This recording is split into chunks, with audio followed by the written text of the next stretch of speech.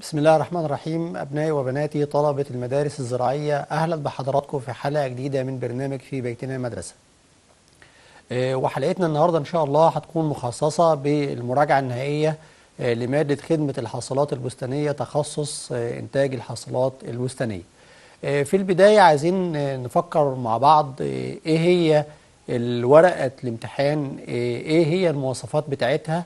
عشان لما أوصل أو أقعد في لجنة الامتحان بتاعتي أعرف أنا هتعامل مع ال- الامتحان بتاعي إزاي. آه، مادة إنتاج الحصلات البستانية بتنقسم إلى ثلاث فروع آه، فرع الفاكهة وفرع الخضر وفرع الزينة وكل فرع منهم بيبقى له سؤال مستقل. فيما عدا إن سؤال الفاكهة الفاكهة غالبا بيكون عبارة عن سؤالين. إذا ورقة الامتحان عندي بيبقى فيها آه، أربع أسئلة سؤالين في آه، خدمة حاصلات الفاكهة وسؤال في خدمة حاصلات الخضر وسؤال في خدمة حاصلات الزينه وكل سؤال من الأسئلة بينقسم إلى آه، ثلاثة أجزاء. بيبقى فيه ألف وباء وجيم. المطلوب من حضرتك هتجاوب على كل الأسئلة بس من كل سؤال هتختار منه جزئين اتنين بس. بمعنى إيه؟ السؤال الأولاني في ألف وب وجيم حضرتك تختار ألف وب أو ألف وجيم أو ب وجيم وممكن لو في إمكانية إن حضرتك عايز تحل الثلاث أجزاء اللي موجودين في السؤال حل الثلاث أجزاء اللي موجودين في السؤال. وهنستعرض مع بعض شكل المواصفات ال- ورقة الامتحان. زي ما إحنا قلنا إن ورقة الامتحان هتبقى عبارة عن أربع أسئلة. كل سؤال مقسم إلى ثلاث أجزاء ألف وباء وجيم المطلوب إن إحنا هنجاوب على جزئين فقط من الثلاث أجزاء. وممكن لو حضرتك محتاج تجاوب الثلاث أجزاء كاملين جاوب الثلاث أجزاء كاملين. طيب بالنسبة لورقة الإجابة ورقة الإجابة فيها متسع من الإجابة فيجب أو يفضل إن حضرتك لما تيجي تجاوب جاوب كل جزئية في ورقة إجابة مستقلة. يعني الورقة فيها متسع عندك عدد أوراق الإجابة اللي موجود آه، مساحة كبيرة. فحضرتك ما تزنقش نفسك في الإجابة خلي الدنيا براح معاك آه، ابدأ اشتغل براحتك آه، اكتب براحتك خالص آه، خلي كل سؤال ألف في السؤال الأولاني في صفحة وب في السؤال الأولاني في صفحة وجيم في السؤال الأولاني في صفحة وهكذا لحد نهاية الامتحان إن شاء الله. البيانات بتاعت حضرتك في البداية بتكتبها بخط واضح الاسم ورقم الجلوس والمدرسة اللي حضرتك تابع ليها وزي ما إحنا قلنا آه، بتبدأ بعد كده تنفذ التعليمات الخاصة بالإجابة على كل سؤال وزي ما هنستعرض في بعض الأسئلة اللي هنوضحها لحضراتكم وهنوضح مع بعض إيه هي التعليمات بحيث إن حضرتك تاخد الدرجة بتاعتك كاملة إن شاء الله. آه، بالنسبة لأول جزء هنتكلم فيه منهج ال- الفاكهة إيه الحاجات اللي هناخدها فيها؟ إحنا خدنا فيها زراعة وإنتاج محصول العنب، خدنا زراعة وإنتاج محصول الزيتون، خدنا زراعة وإنتاج آه، محصول الموز وخدنا زراعة وإنتاج آه، محاصيل الموالح وخدنا زراعة وإنتاج آه، حاصلات التفاحية وخدنا المعاملات التي تجرى على الثمار بعد عملية الحصاد وبعد كده خدنا صفات الثمار الجيدة وفي النهاية اتكلمنا على أساليب التسويق. ده بالنسبة لمنهج خدمة حاصلات الفاكهة. بالنسبة لمنهج آه، الزينة آه، في آه، درسنا فيه إنتاج لمجموعات نباتية مختلفة نباتات الأعشاب المزهرة ونباتات الأشجار ونباتات الشجيرات والأسيجة والمتسلقات والنباتات المائية والنباتات نصف مائية والنباتات الشوكية والنباتات العصرية وكمان آه، النخيل وأشباه النخيل. آه، بالنسبة بعد كده خدنا برضو جزء خاص بإنتاج ورعاية أبصال الزينة وجزء خاص بقطف الأزهار وجزء خاص بمعارض الزهور. أما بالنسبة للجزء الخاص بمحاصيل الخضر آه، فإحنا اتكلمنا فيها على الخضر الجذرية ودرسنا فيهم محصولين آه، محصول الجزر. ومحصول البنجر. وخدنا من الخضر الورقية ثلاث محاصيل السبانخ والملوخية والبقدونس.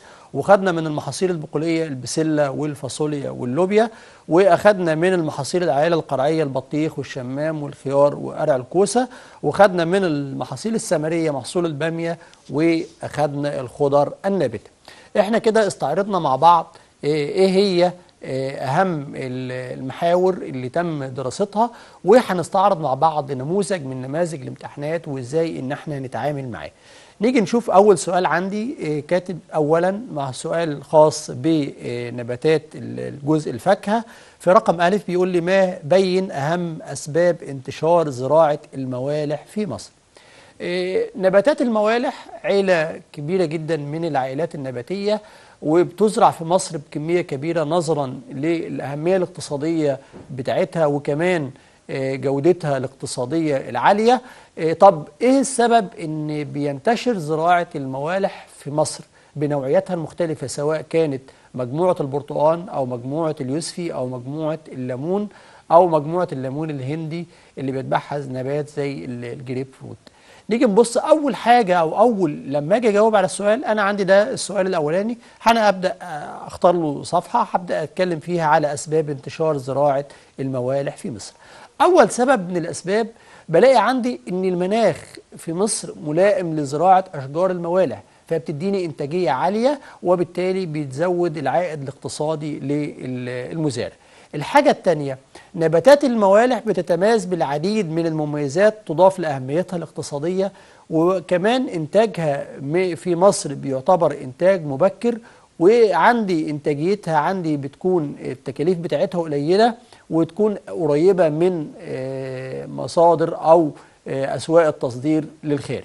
يبقى أنا آه، ملائمة انتشار زراعة الموالح في مصر بعدة أسباب. أول حاجة ملائمة المناخ القيمة الاقتصادية بتاعتها العالية إنتاجيتها المبكرة آه، قربها من آه، مناطق التصدير المختلفة. في من ضمن الأسئلة المهمة جدا اللي بتجيني في آه، الامتحان وده دايما من ضمن الأسئلة المشهورة يقول لي انسب الأصناف الآتية إلى ما حصل. أنا عندي مجموعة من الأصناف الرومي الأحمر صنف ويليامز صنف البيكوال صنف الكليمنتاين. دول آه، أربع أصناف نباتية كل صنف منهم بيتبع آه، نبات من النباتات اللي تم دراستها. أول حاجة لو جينا نبص لنبات الرومي الأحمر أو صنف الرومي الأحمر آه، ده إحنا لما جينا اتكلمنا عليه عرفنا إن الرومي الأحمر دوت من ضمن أصناف العنب. طيب آه، صنف الويليامز نراجع مع بعض كده. أنا سامع حد بيجاوب معايا. صنف الويليامز دوت آه تمام. صنف الويليامز دوت بيتبع نبات الموز. آه، صنف البيكوال صنف البيكوال ده من ضمن الأصناف المشهورة لأحد نباتات المخصصة لإنتاج الزيت وهو محصول الزيتون.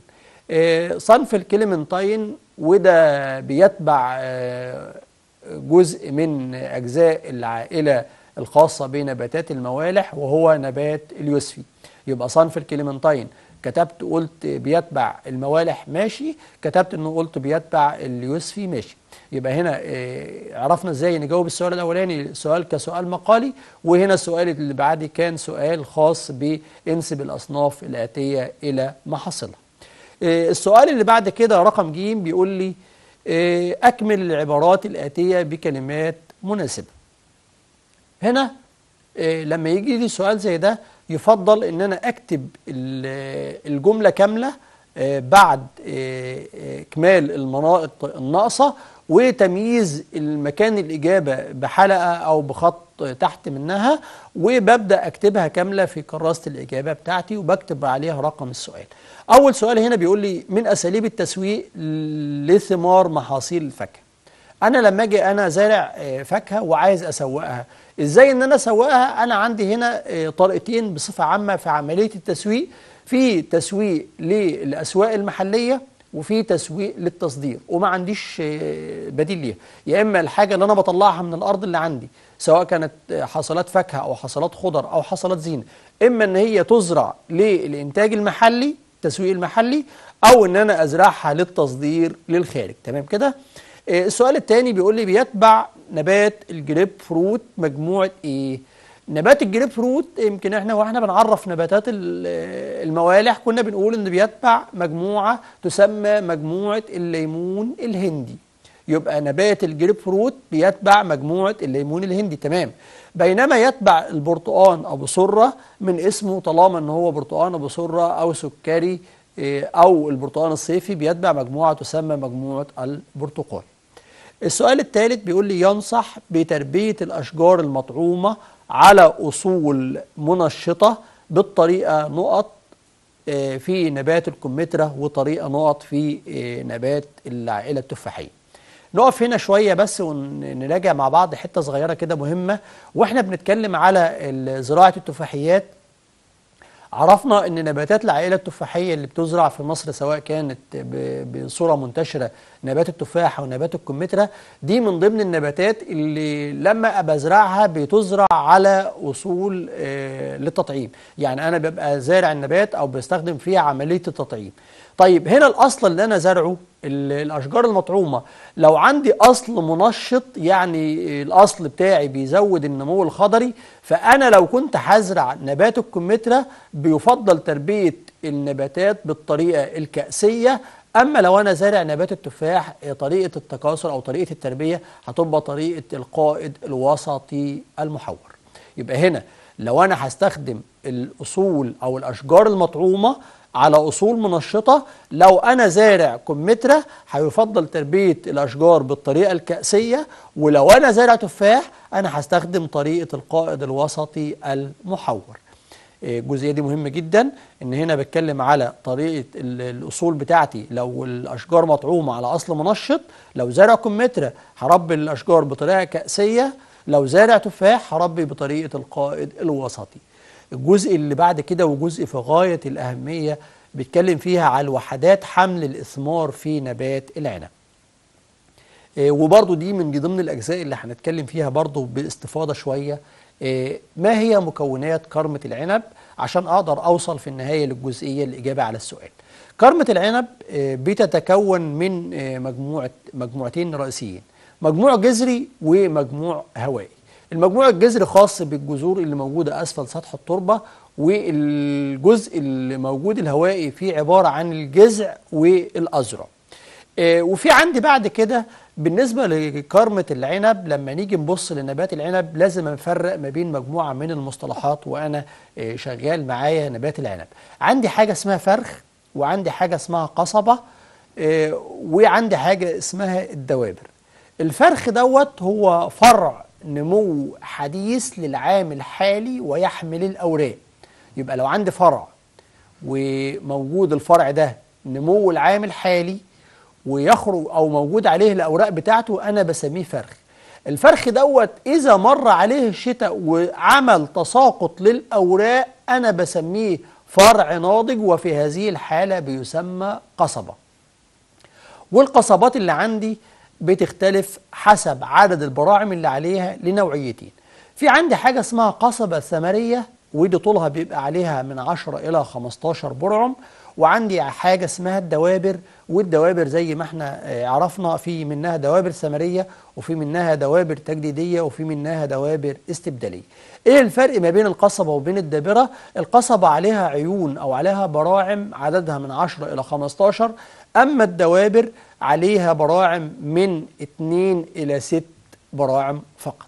طيب لما نيجي بقى نبص للسؤال بتاعي بيقول إيه؟ بيقول لي وحدات حمل الإثمار في العنب في حال التربية الرأسية لو أنا زارع التربية الرأسية هيبقى عندي الجزء الخاص بحمل الثمار هي عبارة عن الدوابر الثمرية اللي زي ما إحنا قلنا عدد البراعم بتاعتها بيكون عليها من 2 إلى 6 براعم. أما في حالة التربية على تكعيب أو التربية ال- الكردونية بيستخدم فيها ال- القصبات الثمرية يبقى وحدات الحمل الخاصة بمحصول العنب لو أنا آه، زارع بتربية رأسية بيكون عندي دوابر ثمرية ولو أنا عامل تربية على تكعيب الحمل بتاعي بيكون على القصبات الثمرية نشوف السؤال الثاني في الفاكهة. زي ما إحنا قلنا الفاكهة عبارة عن سؤالين. السؤال الأول بيقول لي علل لما يأتي يقل محصول الموز للمزرعة بعد قضاء أربع إلى خمس سنوات من عمرها؟ والسؤال الثاني بيقول لي ضرورة زراعة الملقحات في بساتين التفاحيات أو بستان التفاح. لو جينا نبص لأول سؤال عندي الخاص بمحصول الموز نتكلم عليه شوية برضو إيه اللي بيحصل. نبات الموز زي ما إحنا قلنا النبات الساق اللي عندي بتاعتي هي عبارة عن ساق كاذبة والساق الحقيقية للنبات بتستطيل في نهاية عمر النبات اللي في النهاية بتخرج الشمراخ آه، الزهري اللي بيحمل بعد كده أو بنسميه بعد كده آه، الصباطة في عندي جزء موجود أسفل سطح التربة بيسمى القلقاسة. بتكرار آه، سنوات المزرعة عام بعد آخر بتبدأ القلقاسات ديت تقترب من سطح التربة وبتبقى عرضة للإصابة بالأمراض. يبقى عندي هنا المزرعة بتاعتي بعد أربع إلى خمس سنوات إيه ليه أنا ب- يفضل إن أنا أغيرها أو بيقل المحصول عندي؟ إيه السبب؟ انتشار الأمراض وكمان ارتفاع مستوى القلقاسه اللي موجود أسفل آه، سطح التربة مما يعرض النبات للسقوط بعوامل الرياح. يبقى أنا هنا لو أنا زارع مزرعة موز يفضل إن هي تجدد بعد أربع إلى خمس سنوات. إيه السبب؟ إن العوامل النبات القديم اللي عندي لو النبات ده موجود واستمر عندي خلال هذه الفترة بتبقى التربة بتاعتي عرضة للإصابة بالأمراض وخاصة الأمراض الديدان الثعبانية وكمان القلقاسة الخاصة أو بالجزء الجذور اللي موجود أسفل سطح التربة بتقترب من سطح التربة من أعلى وكمان عندي نبات الموز الحمل بتاعه بيكون حمل ثقيل يعني النبات بيحمل وزن الثمار بتاعتي بيبقى وزن ثقيل ولذلك لما بيجي في عملية الحمل بيعمل لها إيه؟ دعامات. بس برضو النبات ممكن لو تعرض للرياح النبات ده بيسقط آه، نتيجة ارتفاع مستوى القلقاسات بالقرب من سطح التربة. الجزء الثاني كان بيتكلم فيه على ضرورة زراعة الملقحات في بساتين التفاح. هنا لما نيجي نبص لبساتين ال- العائلة التفاحية آه، بصفة عامة سواء كان آه، الكمثرى أو آه، التفاح بلاحظ عندي النوعين دول من النباتات الأزهار بتاعتي أو الأصناف بتاعتي بيبقى عندي حاجة اسمها العقم الذاتي. يبقى لو أنا عندي بستان من بساتين الكمثرى أو بستان أنا زرعه بالتفاح الأصناف اللي مزروعة عندي بتبقى أصناف عقيمة ذاتيا. معنى أن كلمة صنف عقيم ذاتي يعني آه، حبة اللقاح اللي من زهرة النبات لا تلقح نفس الصنف. ده معنى كلمة عقيم ذاتي. يبقى هنا أنا لو أنا زارع العائلة التفاحية سواء كان تفاح أو كمثرى يجب علي أن أنا أعمل حاجتين عشان أضمن نسبة التلقيح وبالتالي زيادة المحصول إن أنا أعمل زراعة أصناف ملقحة أو زراعة ملقحات وكمان آه، بأضيف آه، خلايا نحل في ال- بالنسبة بمعدل آه، خليتين نحل بالنسبة للفدان. طب لو جينا نفكر مع بعض كده أهم الملقحات الخاصة بمحصول التفاح صنف الدورست جولدن وصنف العين شيمر وعندي من ملقحات الكمثرى صنف اسمه صنف هود. يبقى هنا عندي آه، ليه أنا ب- يجب علي توفير الملقحات في بساتين التفاحيات؟ نظرا لأن النباتات التفاحية عقيمة ذاتيا. طيب هل كل أصناف العائلة التفاحية عقيمة ذاتيا؟ آه فعلا هي أصناف عقيمة ذاتيا ولكن في بعض الأصناف آه، بتعقد الثمار بتاعتها عقد بكري بدون آه، الحاجة لحبوب لقاح. طب هل الكلام ده اقتصادي؟ لا الكلام ده فعلا مش هيبقى اقتصادي وأنا مش لا يفضل الاعتماد عليه فيجب علي أيضا زراعة الملقحات. آه، نشوف السؤال اللي بعد كده بيتكلم على بيقول لي بين العمليات التي تجرى لتحسين صفات حبات العنب البناتي. الجزئية دي مهمة جدا في مزارع العنب. آه، كلمة صفات حبات العنب أنا هنا بيهمني إن أنا أزود حجم الحبة وأزود درجة التلوين وأزود حجم العنقود بتاعي. يبقى المعاملات اللي أنا هعملها هتأثر عندي هنا على ثلاث حاجات. حجم العنقود كامل وحجم الحبة وكمان لون الحبة يعني عملية التلوين. طيب إيه اللي بيحصل؟ بلاقي إن عندي الزهرة بتاعت أو ال- العنقود الزهري بتاع نبات العنب بيكون فيه نمو كثيف مما يؤدي إلى صغر حجم الحبات ودي صفة تسويقية غير مرغوبة.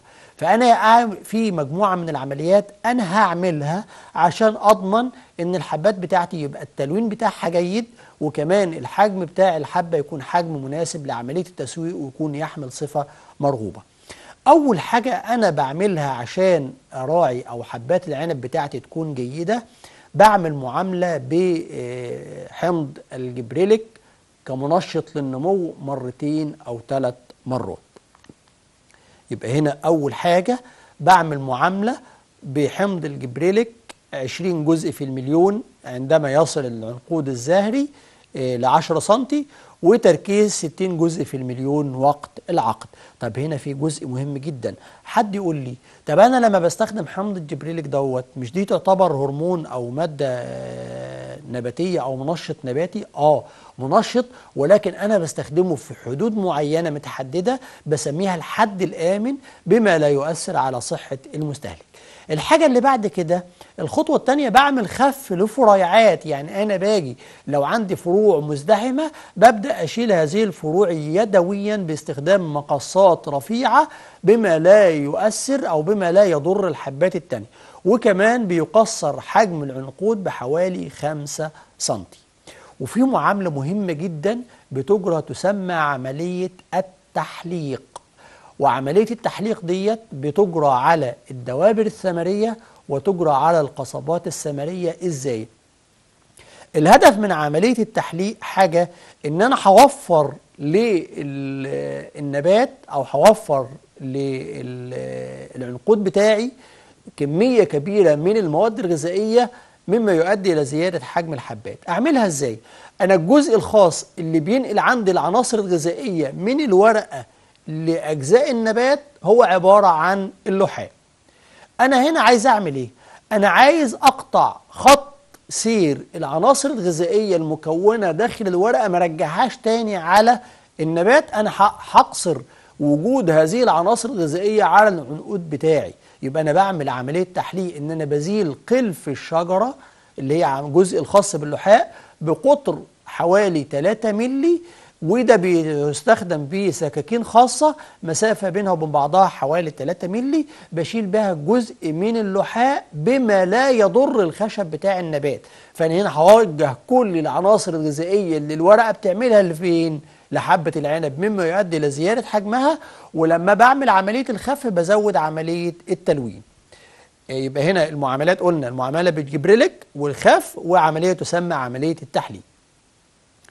السؤال الثاني بيقول لي أنقل العبارات الآتية بورقة الإجابة مع ثم ضع علامة صح أمام العبارة الصحيحة وعلامة خطأ أمام العبارة الخاطئة. في بعض هنا السؤال ألزمني إن أنا هنا أنقل العبارة الأول وبعد كده أكتب جنبها صح ولا غلط الجملة بتاعتي على حسب المفهوم بتاعي. يعني هنا ما ينفعش حضرتك تكتب لي واحد الإجابة صح أو خطأ اتنين الإجابة صح أو خطأ تلاتة الإجابة صح أو خطأ لأ حضرتك هتكتب الإجابة ك... الجملة كاملة وبعد كده نشوف الجملة بتاعتي ديت صح ولا غلط. أول جملة بيقول لي فيها إيه؟ يفضل زراعة الزيتون في الأراضي الزائدة الخصوبة أو الأراضي العالية الخصوبة أو الأراضي الخصبة. هل المعلومة دي صح ولا غلط؟ نيجي هنا نبص لنبات الزيتون بتاعي لو أنا جيت أبص عليه في البداية أكتر مناطق بيزرع فيها نبات الزيتون كانت موجودة عندي في منطقة سينا ومعروف إن الأرض هناك أراضي رملية. يبقى هعرف من هنا إن الأرض الرملية بصفة عامة هي أراضي محتواها من العناصر الغذائية قليل يعني هي أراضي ليست خصبة. يبقى هنا مبدئيا الجملة ديت إيه؟ هتبقى غلط. بس في جزء بقى عايز أفهمه. هو ليه لا يفضل زراعة الزيتون في الأراضي العالية الخصوبة أو الأراضي الخصبة؟ لو أنا زرعت شجرة الزيتون في أرض خصبة أو أراضي عالية الخصوبة بلاقي أن النبات بيتجه لتكوين مجموع خضري على أساس المجموع الزهري وبالتالي النبات هيديني ورق ومش هيديني أزهار. وطالما ما فيش أزهار مش هيديني إيه؟ محصول. يبقى لو جينا نبص للجملة الأولانية يفضل زراعة الزيتون في الأراضي الزائده الخصوبة تقول للقائي يبقى الجملة دي صح ولا غلط؟ الجملة ديت غلط. إيه السؤال الثاني أو الجملة الثانية يزرع البرتقال عالميا ومحليا في مساحات أكبر من مساحات اليوسفي. هل أكثر انتشارا أنا اقيسها على النبات اللي عندي في السوق.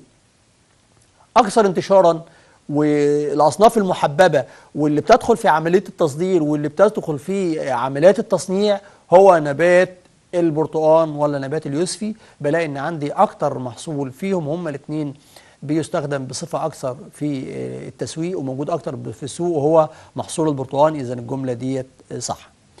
السؤال اللي بعد كده بيقول لي العقل الساقية من أفضل طرق التكاثر الشائعة في نباتات الكمثرى هنا لما جينا اتكلمنا وإحنا بنتكلم على الأصناف الملقحات وطريقة التربية قلت إن أنا بعمل عندي هنا أصول. طب الأصول اللي بتنتج عندي في العائلة التفاحية الأصول الناتجة لنبات الكمثرى بتكون أصول بذرية. الأصول المستخدمة في إكسار نبات الكمثرى هي أصول بذرية وليست أصول قدرية يبقى العقل الساقية من أفضل طرق التكاثر الشائعة في الكمثرى. الكلام ده غلط لأن أولا الكمثرى بتتكاثر عندي أو النبات عندي اللي بيزرع بتبقى شتلات مطعومة وشتلات مطعومة على أصول بذرية. يبقى لنا الجملة ديت إيه؟ غلط. آه، السؤال اللي بعد كده ثانيا خاص بسؤال خاص بنبات الخضر أو المجموعة الثانية النباتية اللي إحنا بنتكلم عليها نبات الخضر. وهنا السؤال بيقول لي اكتب عن محصول الجزر من حيث. لما يجي لي سؤال زي ده أنا هنا بسترجع معلوماتي وأشوف الحاجات اللي هو طالبها. هو هنا طالب عندي أربع معلومات رئيسية. ما هي التربة المناسبة؟ إيه هو ميعاد الزراعة؟ ما هي كمية التقاوي اللازمة لزراعة الفدان؟ وتكلم عن عملية النضج وعملية الحصاد. لو جينا في البداية نتكلم على نبات الجزر. أنا بص للنبات اللي عندي الأول. الجزء الاقتصادي فيه هو عبارة عن إيه؟ نبات الجزر الجزء الاقتصادي أيوة تمام. أنا كده. الجزء الاقتصادي في الجزر والبنجر هو عبارة عن الجذور. والجذر دوت عشان ياخد راحته في النمو وبيديني حجم أكبر يبقى التربة بتاعتي يفضل أن تكون أراضي صفراء خفيفة. يبقى أول حاجة لما نيجي نتكلم عن التربة المناسبة للجزر هي الأراضي الصفراء الخفيفة والثقيلة ولا يفضل زراعته في الأراضي الطينية. بالنسبة لميعاد الزراعة بلاقي عندي الجزر البلدي بيزرع من أول شهر أغسطس حتى شهر أكتوبر. أما في الأصناف الأجنبية بتمتد الزراعة حتى تصل إلى الزراعة في شهر مايو في المناطق الساحلية. يبقى الأصناف البلدي بيزرع في أغسطس وسبتمبر وأول أكتوبر. الأصناف الأجنبية بتزرع من أغسطس حتى فبراير ولو أنا زارع الجزر ده في منطقة ساحلية قد تمتد زراعته إلى شهر مايو. كمية التقاوي إحنا وضحنا فرقنا ما بين حاجتين في عندي أصناف بلدية وعندي أصناف أجنبية. إيه الفرق ما بين الاتنين؟ ال- الجزر البلدي ال- الجذور بتاعتي حجمها صغير يعني الجذر نفسه حجمه صغير. أما الجزر الأجنبي الجذور بتاعتي حجمها كبير فأنا لما باجي أزرع النبات بتاعي طالما الجذر حجمه كبير يبقى المسافة بين النبات والتاني هتبقى مسافة أوسع وبالتالي كمية التقاوي اللي هنا هتبقى كمية أقل. يبقى هنا كمية التقاوي اللازمه لزراعة فدان. لو أنا زارع جزر بالصنف البلدي بلاقي إن الفدان بتاعي بياخد حوالي 5 كيلو جرام تقاوي ولو أنا زارع من الأصناف الأجنبية بلاقي إن الفدان بيحتاج من 2 إلى 3 كيلو جرام المعاملة اللي بعد كده بتكلم فيها على النضج والحصاد. نبات الجزر بينضج عندي إمتى؟ بينضج نبات الجزر بعد حوالي 3 إلى 4 شهور. طيب أنا عايز أجمع المحصول بتاعي. إحنا زي قلنا في البداية خالص لما جينا نتكلم على التربة قلنا إن نبات الجزر الجزء الاقتصادي فيه عبارة عن الجذور والجذور موجودة أسفل سطح التربة. طيب في عندي طريقتين من طرق الجمع.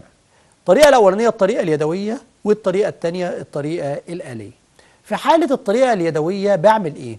بجيب عندي حاجة اسمها أوتاد آه، معدنية وتد معدني والوتد المعدني دوت بيجي العامل بيجي عندي في المزرعة بيمسك النبات بإيده الشمال بيمسك النبات من العرش بتاعه بإيده الشمال وبيحط بيجي يضع الوتد أسفل الجذر ويعمل خلخلة للتربة وبالإيد الثانية بيشد آه، الجذور بتاعتي فبيقتلع النبات من الأرض.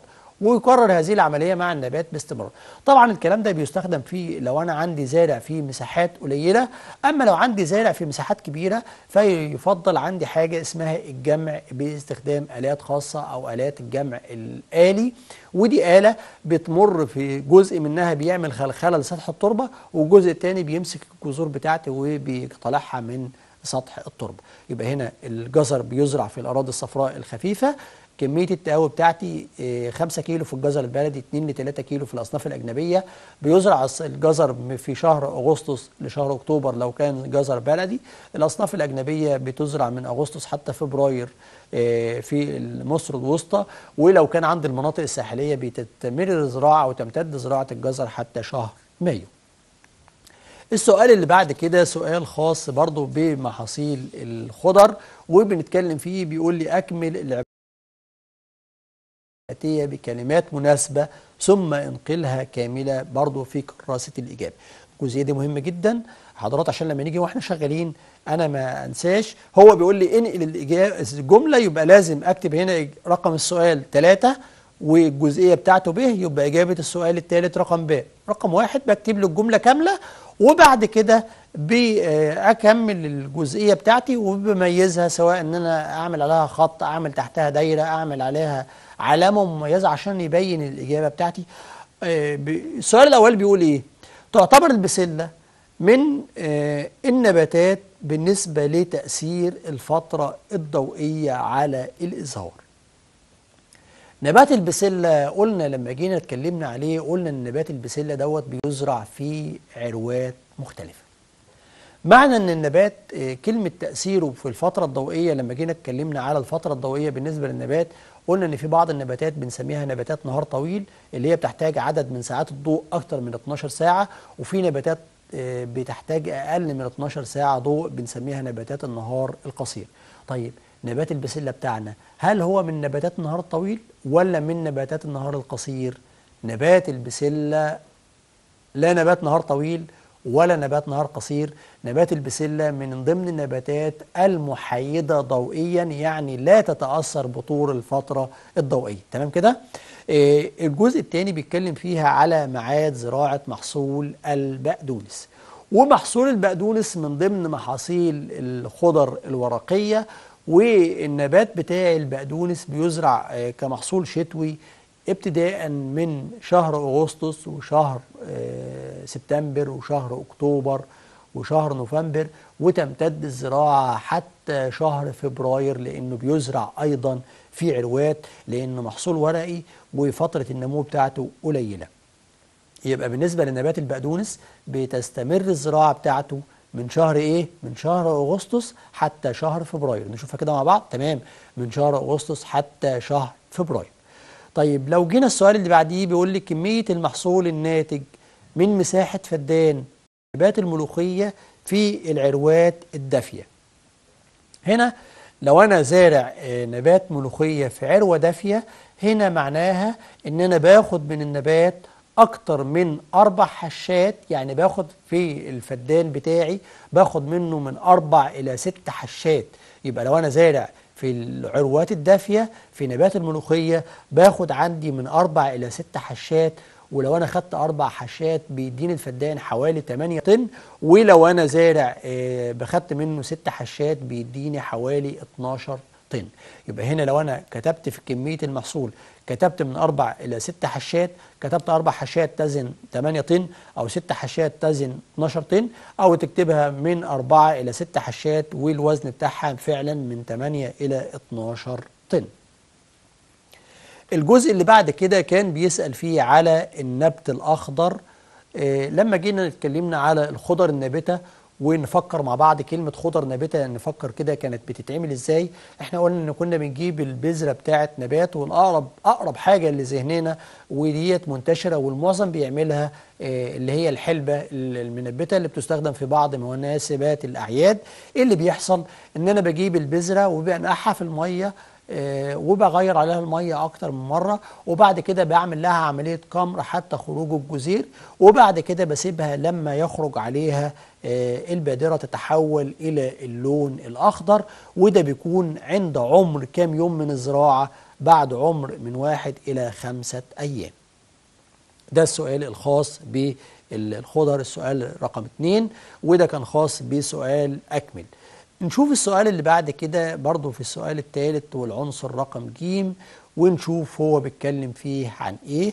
بيقول لي آه أنقل العبارات الآتية برضو بورقة الإجابة. يبقى هنا يجب علي أن ننقل الورقة آه للسؤال آه كامل في الورقة وبعد كده أكتب قصاد منه الإجابة بتاعتي صح ولا غلط. أول جملة بيقول لي هنا الغرض من تعقير محصول البامية هو الحصول على محصول مبكر. إيه نشوف الأول كلمة تعقير إيه اللي بيتم فيها كمحصول أو كمحصول البامية إيه اللي بيتم عملية التعقير دي بتتم إزاي؟ بعد نهاية الموسم بتاع الجمع بيتم آه إزالة معظم آه بذيل كل النموات بسيب عندي أو بيقصر النبات لارتفاع معين وبسيبه في الأرض بيستمر معايا للموسم اللي جاي هنا أنا كسبت إيه عندي نبات قائم بالفعل جذر وجزء ساق. طيب الجزء دوت لما يجي النمو في الموسم اللي بعديه. أنا زارع نبات بذرة. عشان النبات يستمر في عملية النمو الخضري يكون مجموع جذري قوي ويكون ساق وبعد كده تكون عليها أزهار وبعد كده يتكون محصول هياخد وقت. أما هنا أنا عندي النبات موجود بالفعل. كل لما عند ما يوصل النبات لبداية مرحلة النمو هيبدأ يطلع الورقة وبعد كده هتبدأ الزهرة تخرج وبالتالي فعلا المحصول بتاعي هيبقى مبكر. يبقى لو أنا هستخدم عملية التعقير يبقى عملية التعقير الهدف منها الحصول على محصول مبكر ولكن هذه العملية غير مرغوبة لأنها تؤدي إلى انتشار الأمراض. بس الجملة بالنسبة لنا طالما إن أنا بعمل تعقير الهدف منها فعلا إن هو الحصول على محصول مبكر. الجملة الثانية بيقول لي تعتبر درجة الحرارة من 35 إلى 40 درجة مئوية أنسب درجات الحرارة لعقد ثمار الفاصوليا. درجة الحرارة عند 35 40 درجة مئوية. درجة حرارة عالية هي فعلا محصول الفاصوليا محصول صيفي ولكن عند هذه الدرجة حبوب اللقاح بتاعتي بتموت فهي ليست أفضل درجة لعقد الثمار بتاعت نبات الفاصوليا يبقى الجملة غلط. الجملة اللي بعد كده بيقول لي من علامات نضج في الشمام تغير لون الثمار من اللون الأخضر إلى اللون الأصفر. نبات الشمام من ضمن نباتات العائلة القرعية والجزء الاقتصادي عندي هو عبارة عن الثمرة. كلنا عارفين الصورة اللي إحنا بنسوق عليها نبات الشمام. إحنا بنشوف نبات الشمام لونه إيه في البيت؟ بنشوف أو في السوق بنشوف لونه إيه؟ بنشوف لونه أصفر. هل اللون الأصفر دوت النبات بمجرد ما بيعقد هل اللون ده بيكون الطبيعي بتاع النبات أول ما بتعقد الثمرة عليه؟ لأ النبات اللي عندي بدايه عقد الثمرة بيكون لون الثمرة لونها أخضر وبعد كده بتصل لمرحلة النضج. فعلامة من ضمن علامات نضج محصول الشمام هي تحول الثمرة من اللون الأخضر إلى اللون الأصفر وبالتالي الجملة دي تعتبر إيه؟ جملة صحيحة. طيب يتميز بطيخ الزراعة البعلية بالجودة العالية لقلة الإصابة بالأمراض الفطرية. اولا المحصول للبطيخ البعلي البطيخ البعلي يعتبر أفضل وأجود أنواع البطيخ في السوق. ليه؟ في حالة البطيخ البطيخ البعلي لما أجي أزرع في الزراعة البعلية أنا بعمل إيه؟ أنا بسيب النبات في الأرض بروي الأرض ري جيد واحط النبات وبديها كمية احتياجاتها من المية وأثناء فترة نمو النبات لا يتم ري النبات. وبالتالي عندي كمية الرطوبة في التربة عندي كمية منخفضة. والمصدر الرئيسي لانتشار الأمراض الفطرية في النبات هو عبارة عن وجود نسبة المية. طب أنا هنا عندي النبات لا يروى بكمية كبيرة المية بتاعتي بياخدها من الماء المخزن داخل سطح التربة يبقى هنا فعلا يعتبر البطيخ البعلي بالإضافة لجوداته التسويقية العالية وقلة إصابته بالأمراض. يبقى زي الجملة اللي عندي ديت جملة إيه؟ صحيحة. السؤال اللي بعد كده سؤال خاص بجزء العنصر الرابع اللي عندي هو جزء خاص نباتات الزينة. إحنا زي ما إحنا وضحنا برضو هنأكد على حضراتكم تاني لما أجي شغال أنا بجاوب عن يكفيني الإجابة في كل سؤال عن جزئيتين بس. من كل سؤال عن جزئيتين. جاوبت التلاتة أوكي بس يفضل إن أنت تجاوب جزئيتين بس ما ترهقش نفسك. اقرأ السؤال كويس اختار الجزئيتين اللي حضرتك هتحلهم وحلهم باسمهم. السؤال الثالث ده أنا بتكلم على الزينة. تكتب عندي ثالثا الزينة إجابة السؤال الرابع رقم. إذا كنت هتجاوب ألف اكتب لي رقم ألف. أول جملة بيتكلم فيها هنا على إيه؟ بيقول لي يتم توفير الرطوبة اللازمة في الجو المحيط بالنباتات المنزلية عن طريق أول حاجة نتكلم عليها هنا ويكون حاضرة في ذهني كل النباتات التنسيق الداخلي المنزلية هي عبارة عن نباتات ورقية وتحتاج إلى نسبة كبيرة أو نسبة عالية من الرطوبة طيب أنا عشان أوفر الرطوبة الخاصة بالنبات أعملها إزاي؟ عشان أوفر كمية الرطوبة الخاصة بالنبات أنا بعمل حاجتين. لو في فصل الصيف هرش النبات برشاشة أو بخاخة يوم بعد يوم أو يومي الحاجة التانية إن أنا ممكن أحط الإناء بتاعي في إناء به بتموس مبلل بالمية وده يساعد على توفير نسبة الرطوبة. يبقى أنا عندي هنا حاجتين هعملهم. لو أنا هستخدم لو أنا هستخدم أو أنا عايز أرفع نسبة الرطوبة. أول حاجة هعملها إن أنا حاملة وعاء كبير بالبتموس والبتموس ده يكون عندي مبلل وأحط فيه الآثار بتاعتي اللي فيها النبات وبالتالي هياخد أو هيوفر له نسبة الرطوبة.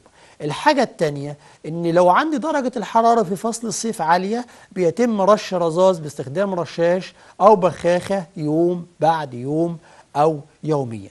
طب هنا في ملحوظة مهمة جدا ودي برضو نراجع عليها حتة كده مع بعض. هل البيتموس اللي موجود عندي اللي أنا بستخدمه في رفع نسبة الرطوبة هل يفضل موجود عندي واستخدمه فترة طويلة طول السنة؟ لا بلاقي عندي في مشكلة هنا.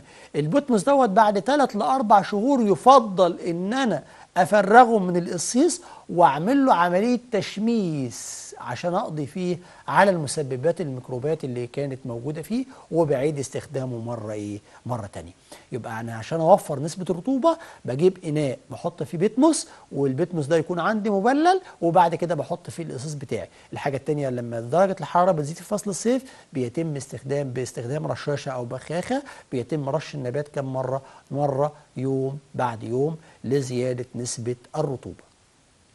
الجملة الثانية اللي مطلوب إكمالها بيقول يتوقف ارتفاع قص المسطحات الخضراء على عدة عوامل. الله سؤال جميل.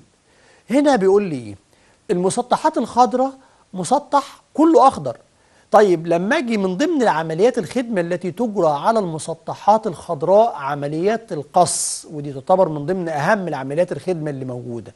طيب آه تتوقف على طب أنا هفرق ما بين حاجتين لو أنا زارع نجيل ولو أنا زارع جازون إيه الفرق ما بين الاثنين النجيل بتاعي النمو بتاعه مفترش قريب من سطح التربة الجازون بتاعي النمو بتاعه رأسي. طب هنا لو أنا هقص نبات زي نبات الجازون يقص على ارتفاع منخفض ولا ارتفاع مرتفع؟ يمكن يقص على ارتفاع مرتفع. طب لو أنا زارع نجيل النجيل بتاعي النمو بتاعه إيه؟ مفترش. يبقى هنا النبات بتاعي بيقص على مستوى منخفض. يبقى أول عامل من ضمن العوامل المهمة جدا اللي أنا راعيها في مستوى قص أو ارتفاع قص المسطحات الخضراء نوع النبات اللي عندي طبيعة نمو النبات. قلت زي ما أنا وضحت كده لو أنا عندي آه، نجيل النجيل بتاعي بيكون نموه مفترش فبيقص على ارتفاعات منخفضة. طب حتة مهمة جدا. هو أنا بقص النبات أصلا ليه؟ بقص النبات عشان بعمل بيه توازن ما بين كمية الأوراق وكمية السقان وأحافظ على شكل النبات. الحاجة الثانية الغرض من استخدام المسطح بتاعي. إيه الهدف من استخدام المسطح؟ في عندي نوعية من استخدامات المسطحات الخضراء اللي هي ملاعب الجولف وملاعب كرة القدم.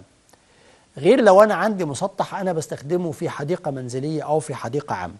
بالنسبة للمسطحات الخضراء في مزارع الجولف ومزارع آه، كرة القدم هنا آه، عندي عايز الأرض بتاعتي تكون شبه مستوية.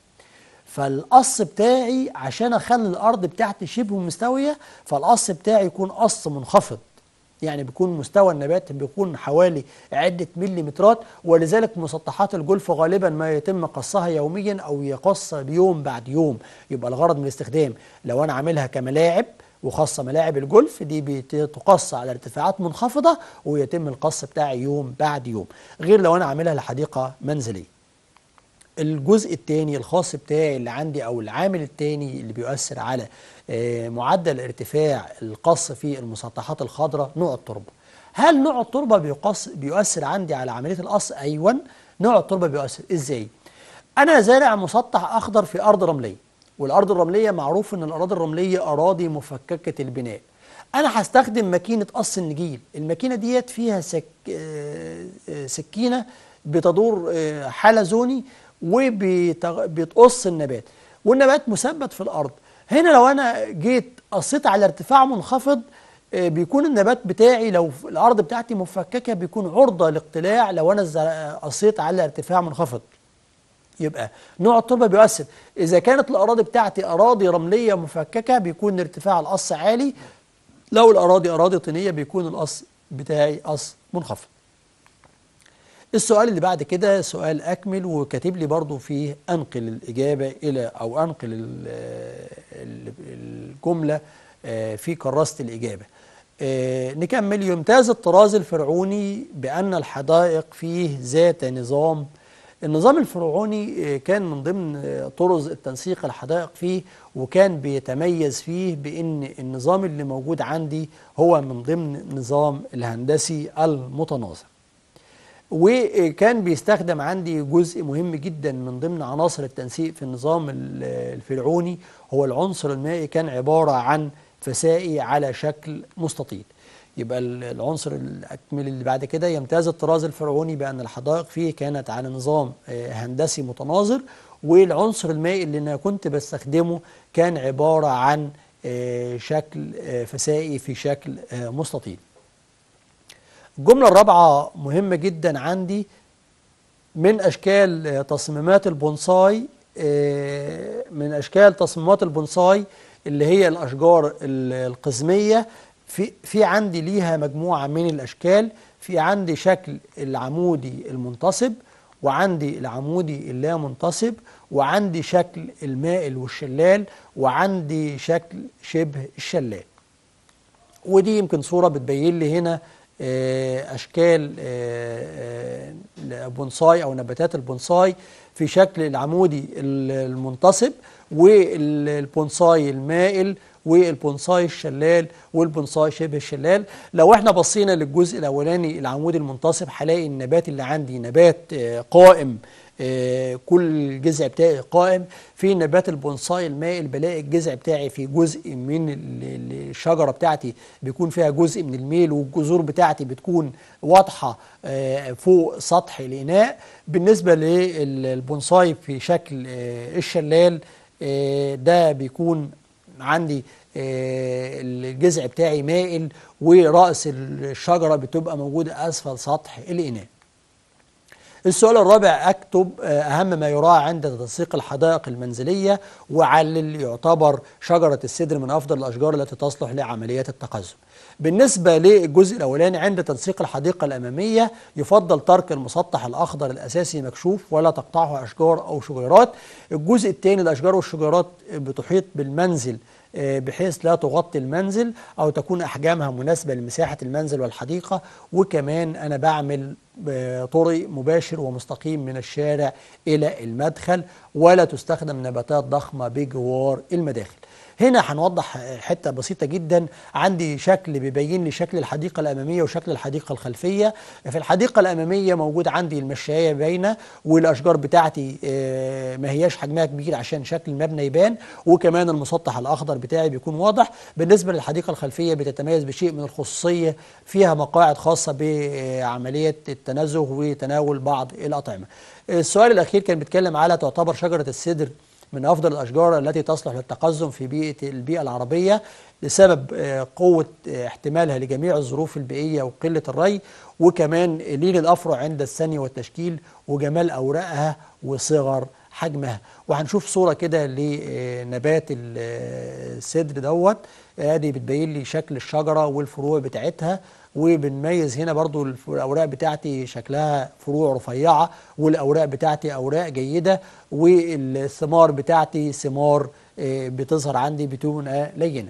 وبكده إحنا استعرضنا مع بعض نموذج آه، من نماذج خدمة ال- الحاصلات البستانية آه، وبنأكد برضو مع بعض مرة تانية إن السؤال أو المن القرر بتاعي عبارة عن ثلاث أجزاء جزء فاكهة وجزء خضر وجزء آه، زينة. آه، بالتوفيق لحضراتكم. وإحنا كده يمكن استعرضنا بعض النماذج الأسئلة واتكلمنا فيها بشيء من التفصيل. وإحنا منتظرين استفساراتكم وأسئلتكم على آه، جروب التليجرام الخاص ب أو قناتنا قناة مصر التعليمية. بنتابع استفساراتكم وبنجاوب نجاوب عليها إن شاء الله. ونوعدكم إن شاء الله آه، بحلقات تانية مراجعة في آه، مادة خدمة الحصلات البستانية. وإن شاء الله نشوفكم على خير في حلقات قادمة. والسلام عليكم ورحمة الله وبركاته. شكرا لكم.